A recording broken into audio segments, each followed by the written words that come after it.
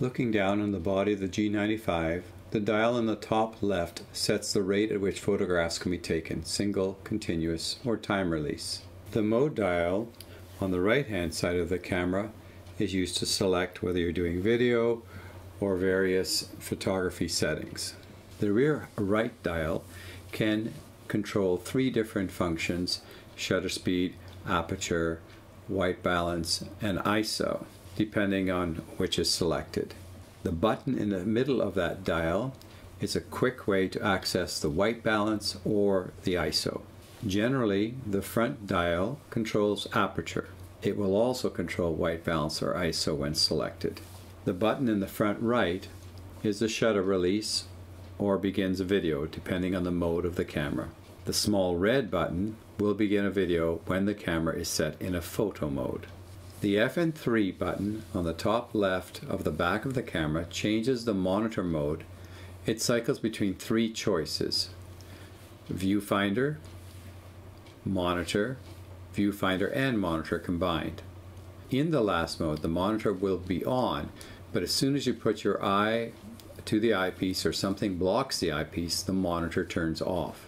The battery takes about 175 minutes to charge and will give you about an hour and a half of recording time. Open the battery door on the bottom of the camera. Note the connection on the battery and in the compartment. Do not force the battery. If it is lined up correctly, it will easily click in place. The SD card slot is located on the right side of the camera.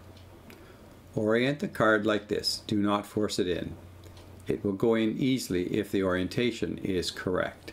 To install a lens, match the red dot on the lens with the red dot on the camera body. A half turn clockwise will seat the lens to the body. To remove the lens, press this button and turn counterclockwise. The monitor is fully articulated, allowing it to move in several positions. Turn the camera on with this switch. Always be sure that the date and time are correctly set. Press the menu set button, touch the fourth menu down, a single wrench. Select the first of four submenus on the right side of the screen. Set the clock. Simply touch the screen and use the arrows on the right side to set the date and time. Formatting the SD card is found in the wrench menu. Select the fourth submenu. Select Format and answer the prompts. This will erase the SD card. To shoot in video mode, move the control dial to the icon of the video camera M for manual. Use the main shutter release to begin videotaping in this mode. The icon appears in the upper left part of the monitor. Touch it to reveal four choices, program, aperture, shutter priority, or full manual. I encourage you to use full manual operation. If you wish to shoot video in an auto mode, choose the Intelligent Auto. You will need to use the small red button to start shooting in this mode. The front dial primarily controls aperture.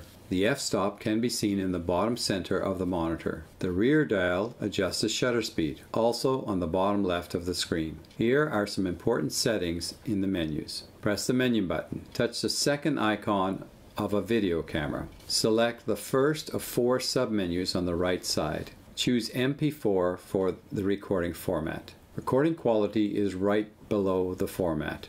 Choose a mode to shoot in and stick with it for consistency when editing. In the second submenu, adjust the stabilizer. If you're working on a tripod, turn this off. If you are holding the camera, turn on image stabilization. The 5-axis hybrid image stabilizer incorporates electronic stabilization and will smooth out the video. In the third submenu, set the wind noise canceller. Turn it off if you're working inside. The third menu choice is a wrench with the letter C and it has seven submenus.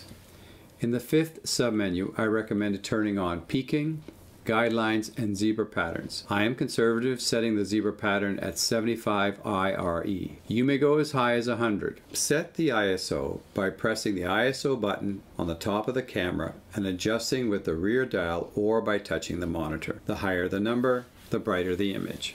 There are many choices for white balancing. Choose the white balance button on top of the camera. I recommend using the custom white balance. Press select white, Fill the square with something white and press set. A dialog box will confirm if the white balance is unsuccessful or complete. If you are rushed, the automatic white balance is a reasonable option. The button to the right of the viewfinder is to select focus.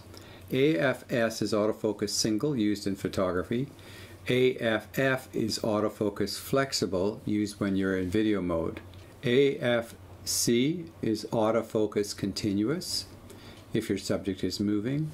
And MF is manual focus.